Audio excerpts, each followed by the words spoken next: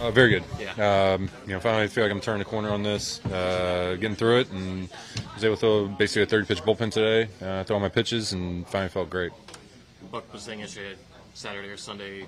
I guess are you penciling for Sunday now? Yeah, that's kind of what they're they're thinking. That way, I could have had a little bit bigger bullpen today, since I've had a long layoff and dealing with this. That they wanted, to, you know, you know, we can throw Casey on Saturday, and then I can go Sunday, and you know, basically, I just missed another turn. Well, I've been managing this for years, so it's just that's just part of the thing.